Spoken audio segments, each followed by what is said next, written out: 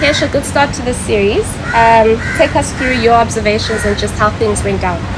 Yeah, obviously it was really nice to start the series uh, with a win on our belt. I think it was really important for us to get that. I think from the start, you know, the batters did really well. Kuni and Reeza set the foundation for us, and you know, Aiden and David played a sublime innings at the end and uh, had a really good partnership to take us to the total we got.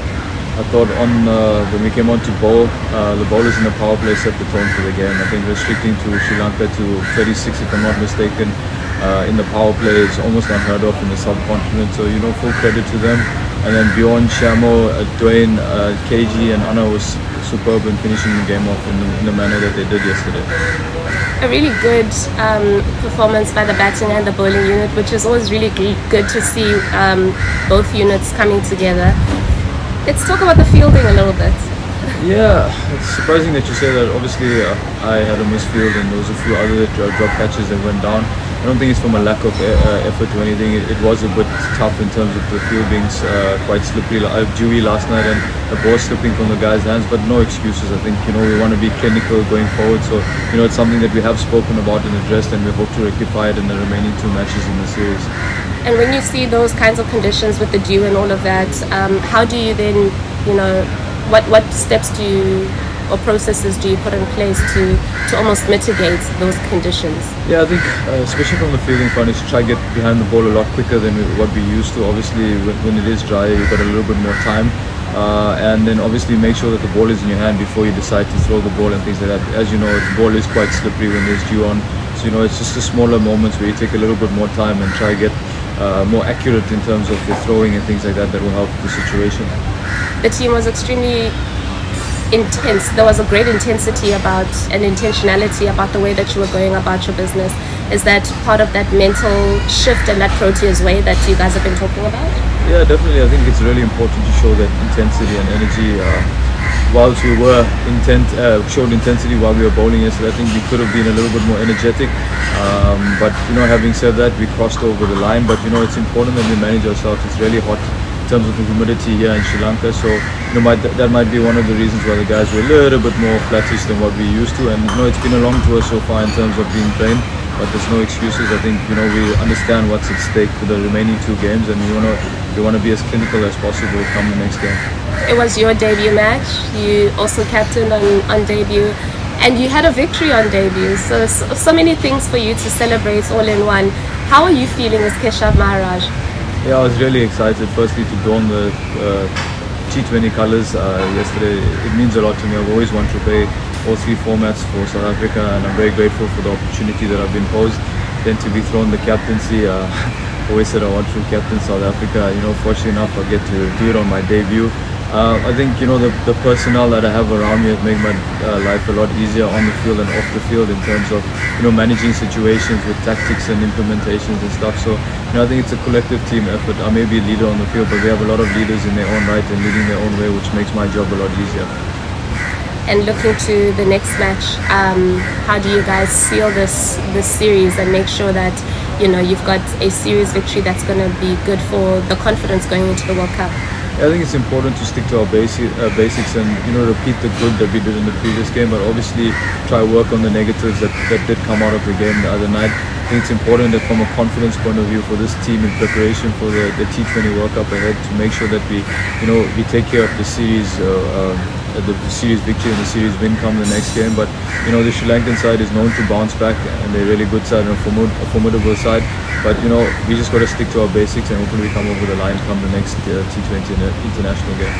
Are you concerned at all um, at the seemingly um, frequent manner in which you know the, the batting unit tends to have collapses in, in, in little pockets? Yeah, I think it's something we, we did address uh, and starting to get a bit better, but obviously we need to try uh, mend that a lot quicker uh, than taking the time, especially when you come to the World Cup. You know, it's it's basically like a knockout uh, situation where you can't afford to adapt too late. So, you know, give credit where it's due. I think the boys have done really well in, in someone sticking their hand up when we have had those collapses. But, you know, it is something that we've addressed and we need to work on and start getting a lot better, a lot quicker as well happy to have Quinton de Kock back.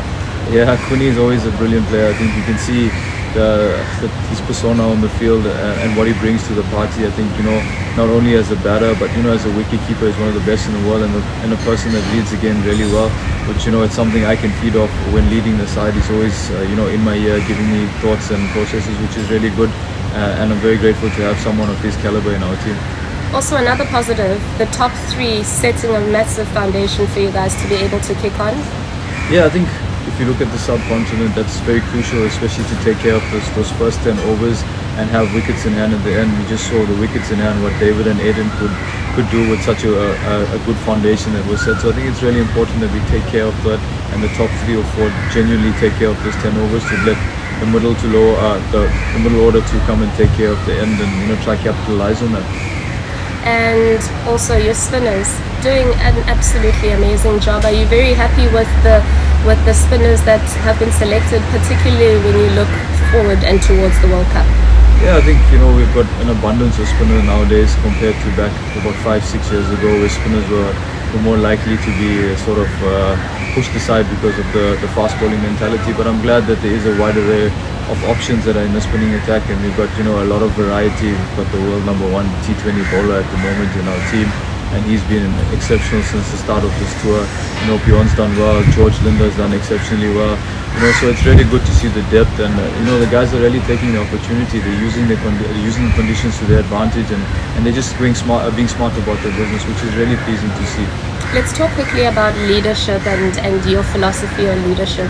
Um, a lot of people have a lot of really good things to say about you, particularly you know in your leadership role at the Dolphins. Um, what is your approach when it comes to leadership and, and the way that you go about using the players around you? Yeah, I think I'm a very open-minded captain. I think one thing I've learned amongst the years playing under certain, uh, you know, uh, previous captains and things is that you've got to be open-minded and rely a lot on the players around you to feed you information as well amongst your own plans and thoughts simply because as a captain you're so focused on other things that you forget some certain important facts and, and guys you have your senior players and, and also the junior guys they bring on points that you don't see. And you know it just opens your eyes. Um, one thing I do demand when I am captain is a lot of energy and intensity on the field. I believe that's the best way to bring out uh, the characters in the team and see see the bowlers come out on, on the better side of things. I think you know it's really important to show that. I think also body language for me on the field is really important because you do portray a strong message to the opposition and that we have to fight. You're a big family man as well, very close with your family. Um, how is being in a being so far away from them for extended periods of time? How does that how does that affect you? Yeah, I'm a big family person. Uh, I love spending time with, at home with the family and fiance and things like that. Um, it is a bit tough. Not a bit, it is very tough.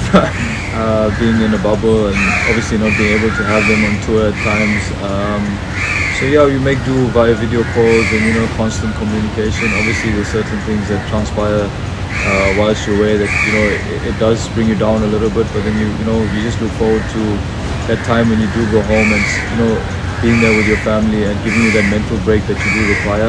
But you know, with the way that technology has gone, I know the person may not be there in physical presence, but you know the fact that you can see their face over a video call and stuff, it does ease a little bit of the, the mental stress that you do deal with whilst on tour.